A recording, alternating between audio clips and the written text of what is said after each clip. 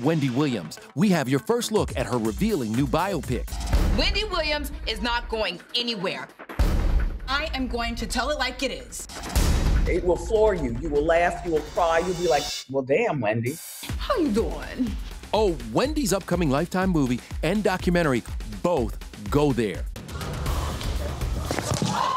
Long before she made headlines for fainting on live TV, Wendy became infamous on the radio.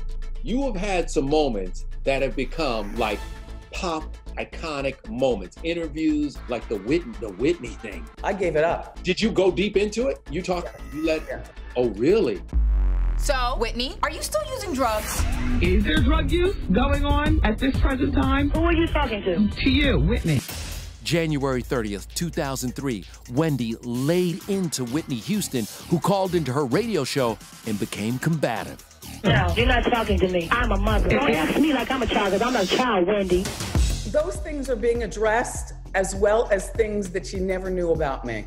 Wendy's always been open with E.T., and as an executive producer on the movie, which stars the Oval actress Sierra Payton as Williams, Wendy doesn't shy away from the darkest moments in her life, like a past drug battle. You're narcissistic. You got a coke habit.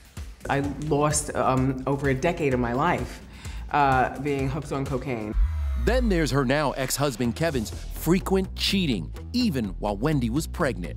Infidelity does not always mean you throw it out, and sometimes it can strengthen relationships. He's having a baby with her.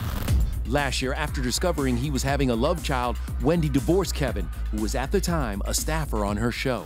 Let's get me legally and financially free from Kevin Hunter. Not you nor anyone else have the power to take away my gifts.